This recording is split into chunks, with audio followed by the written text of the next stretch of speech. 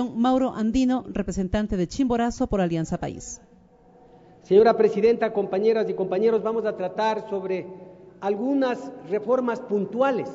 que tienen que ver con el Código Orgánico Integral Penal, que fue uno precisamente uno de los retos más importantes que enfrentó esta Asamblea cuando aprobó el año pasado el Código Orgánico Integral Penal o más conocido como el COGIP. Sin duda, este proyecto, compañeras y compañeros, vino a modernizar la normativa penal. Este cuerpo legal conjugó los distintos ámbitos de la legislación penal, sustantivo, adjetivo y ejecutivo, con la pretensión de armonizar todo el sistema jurídico penal, adaptarlo a la Constitución, a los instrumentos internacionales de derechos humanos y a la realidad de nuestro país. Largas fueron las jornadas de trabajo en las que se analizó a profundidad este, este código, teniendo siempre presente que debía ser un instrumento para limitar el poder punitivo del Estado, pero sin olvidarnos, olvidarnos de que esto no significaba una obstrucción a la justicia o fomento a la impunidad, sino que por el contrario buscábamos el equilibrio entre la punición de conductas peligrosas o lesivas con el respeto de las garantías básicas de derechos constitucionales, como el respeto a la dignidad de la persona humana, el derecho al debido proceso y a la reparación integral de las víctimas. Con seguridad, señora Presidenta, puedo señalar que esta Asamblea Nacional ha cumplido con el país al dotarle de un código orgánico integral penal que cumple con los propósitos de nuestra Constitución, así como con los anhelos de justicia y seguridad aclamados por los ciudadanos y ciudadanas de nuestro país. Esto es preciso considerarlo para acallar aquellas voces que quieren desprestigiar este importante trabajo por el hecho de que hoy nos hemos dado cita acá en este Parlamento para revisar reformas específicas y puntuales que ustedes tienen ya en sus correos electrónicos. El derecho, en su naturaleza dinámica, como ustedes conocen, debe adaptarse a las realidades y a las necesidades de la ciudadanía. Nosotros en la labor de la legislación tenemos la facultad constitucional para revisar cualquier norma y realizar las, adaptaciones que se crea pertinente. Ese es justamente el caso de las reformas que tienen como propósito el tipificar las infracciones a los derechos de propiedad intelectual. Esta reforma, compañeras y compañeros, se hace necesaria tomando en cuenta que el Estado ecuatoriano como miembro de la Organización Mundial de Comercio se encuentra obligado por el acuerdo sobre los aspectos de los derechos de propiedad intelectual relacionados con el comercio a adoptar medidas eficaces contra cualquier acción infractora de los derechos de propiedad intelectual, para lo cual el Estado ecuatoriano se encuentra en la obligación de establecer procedimientos y sanciones penales, procedimientos y sanciones penales,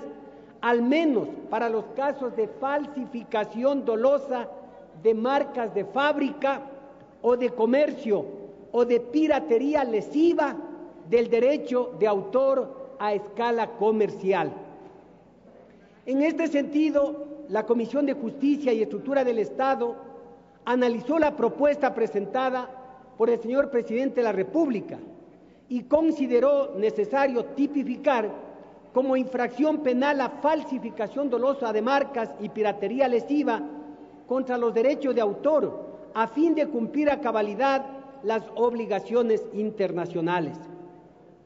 Obviamente que unos tienen un criterio de que debería ser considerada como contravención otros que debería ser considerado como un delito. Hay que resaltar que en las contravenciones las penas de privación de la libertad van de uno hasta 30 días. Y en los delitos, las sanciones de privación de la libertad van de 30 días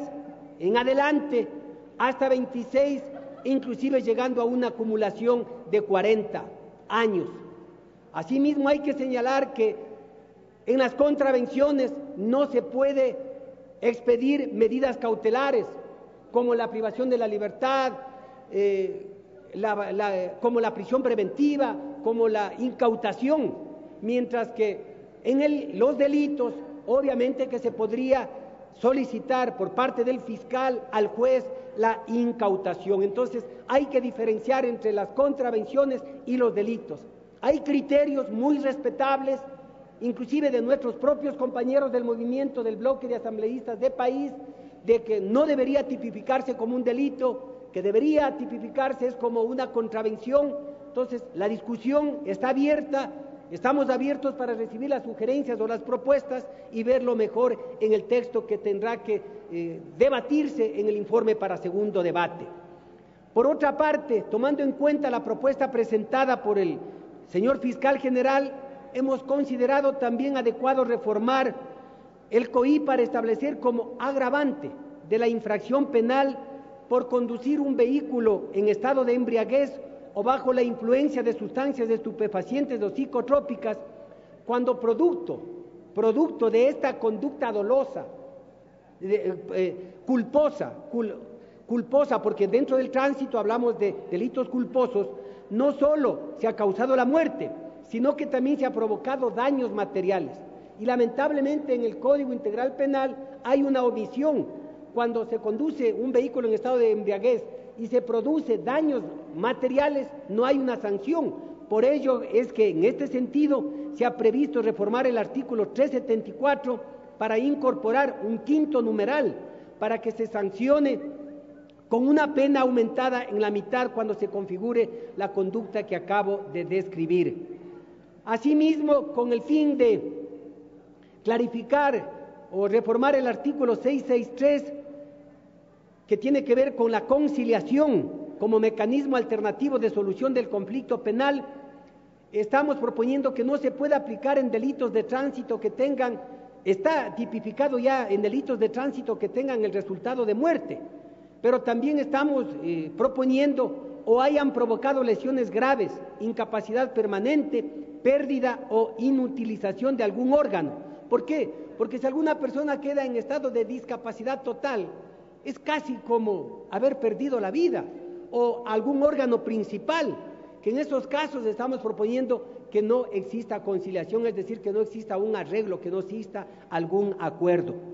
Otra de las propuestas que también se están incluyendo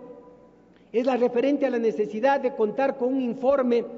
con informe de la Contraloría General del Estado como presupuesto de procedibilidad en los casos de peculado cuando el objeto de la infracción sean recursos públicos y un informe de la autoridad de control competente cuando el objeto de la infracción sean recursos privados, como ocurre con el delito de peculado bancario. O sea, aquí se está clarificando mucho más. Es así que se ha propuesto reformar el numeral 2 del artículo 581 para señalar que los informes de las entidades de control servirán como presupuesto de procedibilidad en los casos de peculado cuando se trate de recursos privados que se encuentren dentro del ámbito de su control. Obviamente que cuando se trata de recursos públicos o de bienes públicos es la Contraloría General la que emite el informe en donde puede determinar presunciones de responsabilidad administrativa, civil o inclusive de responsabilidad penal. Y allí para iniciar un proceso se requiere necesariamente el informe de la Contraloría General del Estado. En cambio, en el peculado bancario son recursos de carácter privado. Allí, ¿quiénes son los que hacen los controles? La Superintendencia de Bancos, por ejemplo, o en las cooperativas, la Superintendencia de Economía Popular y Solidaria, las que tienen que emitir los informes respectivos. En la misma línea eh, se acogió una propuesta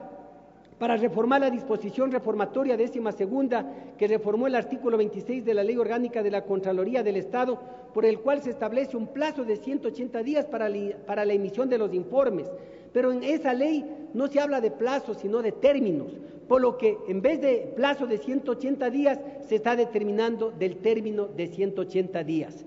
Finalmente, hemos acogido también la propuesta del asambleísta Paco Fierro para reformar el artículo 640 y permitir que las infracciones de violencia contra la mujer o miembros del núcleo familiar o contra la integridad sexual y reproductiva puedan resolverse por el procedimiento directo, cuando estas infracciones han sido cometidas en flagrancia o cuando la pena no supere los cinco años de privación de libertad.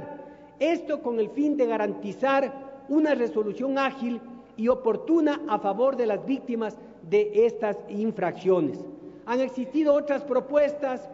otras observaciones, pero que lamentablemente tengo que decir no han sido acogidas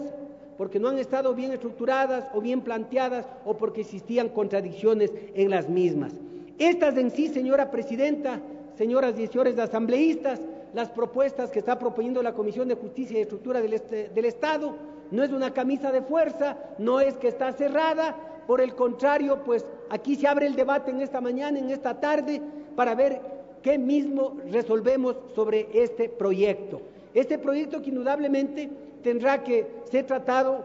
para segundo debate en la Comisión de Justicia y allí se, y allí se resolverá fundamentalmente, fundamentalmente en lo que tiene que ver en lo que tiene que ver en la falsificación de marca y piratería lesiva contra los derechos de autor. Este es un tema bastante eh, controvertido, que hay que debatirlo, que hay que resonarlo, que hay que recoger los criterios y las propuestas. Y en base a ello, insisto, determinar si se trata de una contravención para el segundo informe, se trata de un delito, pero con las eh, circunstancias que determinan tanto eh, la, primera como en el segundo caso. El uno es una contravención, el otro es un delito. En el primer caso no hay cómo emitir medidas cautelares, en el segundo caso, si hay cómo emitir medidas cautelares, sí como eh, la incautación, sí. Así que compañeros, queda abierto el debate, estamos listos para recibir eh, las observaciones correspondientes, pues, y la comisión será la que resuelva en su segunda instancia. Muchísimas gracias, señora presidenta, gracias compañeras y compañeros asambleístas.